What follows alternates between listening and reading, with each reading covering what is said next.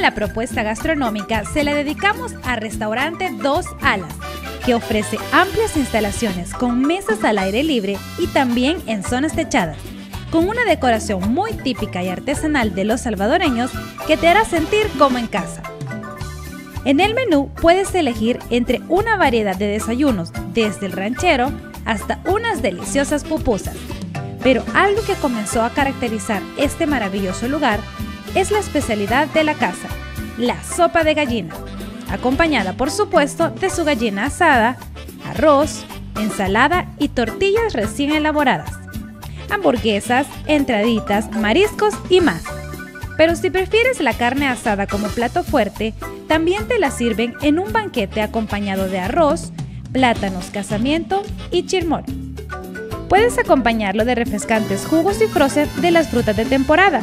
Su amable personal te complacerá en cada detalle. Pero si solo quieres disfrutar de comida más liviana, no puedes faltar a las tardes típicas, donde no podrás resistir comer un platillo de yuca frita, pastelitos, empanadas, quesadillas, chocolate, café y más. Todo preparado bajo la estricta supervisión de la chef Erika Alas y con productos 100% naturales y cultivados en la zona.